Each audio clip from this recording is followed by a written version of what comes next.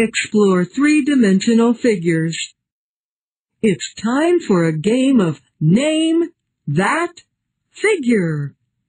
To play this game, write the name of the three-dimensional figure. Then, write the number of edges and vertices. Are you ready to play? Okay.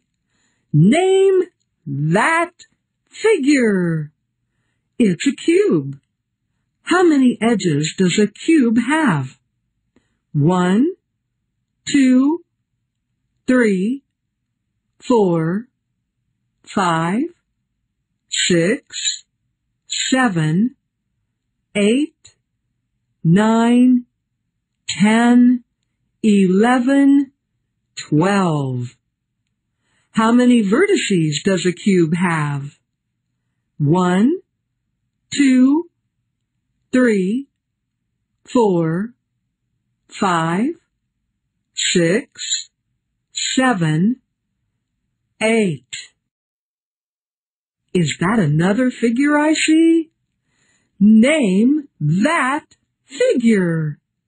It's a pyramid. How many edges does a pyramid have?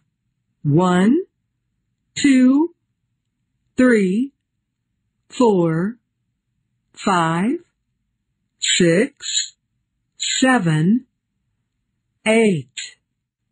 How many vertices does a pyramid have? One, two, three, four, five. Are you ready to play again?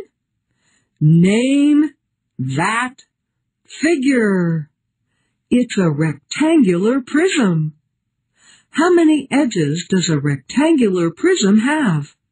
One, two, three, four, five, six, seven, eight, nine, ten, eleven, twelve. How many vertices does a rectangular prism have? One, two, three, four, five, six, seven, eight. One more time. Name that figure. It's a sphere. A sphere is round and can roll any way. A sphere has zero edges and zero vertices. Here's the last figure. Name that figure. It's a cylinder.